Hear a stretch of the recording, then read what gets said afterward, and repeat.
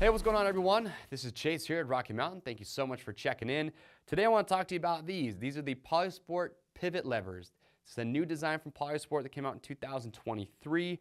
And what's unique about these levers is their unbreakable design. So not only is this a breakaway lever, but when you look at the construction of these, the outside is actually a molded plastic. And this plastic has a lot of flex to it. It can bend pretty much in any direction. In fact, Polisport has a video where their lever bends at basically a 90 degree angle and you can just bend it right back. And the reason that they are, lot, they're able to do that is because you have the plastic on the outside, but inside here, kind of hard to see, but there's actually a strip of metal that goes the length of the lever. And the reason for that is the plastic allows these to bend in pretty much any direction so they're unbreakable, but then the metal is what helps them maintain their form and give them a firm feel.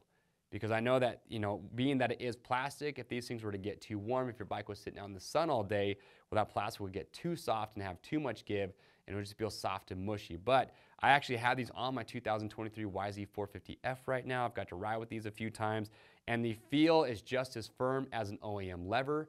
But like I said, the big benefit is that if you do go down, not only do they have the forward pivot for the breakaway, but they can bend pretty much in any direction. You can just bend them right back. So if you've ever broken levers before on your dirt bike, you know the hassle it is. It could end your ride early or you know, if you do have a couple extra, extra levers, you still got to go back and swap it out. So that's why I always recommend, I say breakaway levers are kind of one of those really nice to have accessories on any dirt bike. But like I said, the shape of this lever, I do like the shape. I like the bend.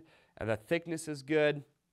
Only thing that I notice with these is that the texture of the plastic's pretty slick, doesn't have a lot of grip to it, but what I did is I took the Tusk lever wraps, which you can cut to length. They shrink wrap onto your levers, which adds a lot more texture and grip. So once I put those on, I was a happy camper. So, so yeah, if you've been shopping for a new set of breakaway levers, these are a really cool design. If you have questions, comments, you can leave those down below. To grab a set for your bike, it is simple. Click the link or head over to RockyMountainATVMC.com. They're bike specific, so enter the year, make, and model. This piece here where it goes on your perch is CNC machined aluminum. Fitment on my YZ450 was spot on. We ship for free over 75 bucks. If you want to stay up to date on videos like this, get subscribed to the Rocky Mountain YouTube channel, hit the notification bell, and you will be good to go. I'm Chase. We'll see you on the trails.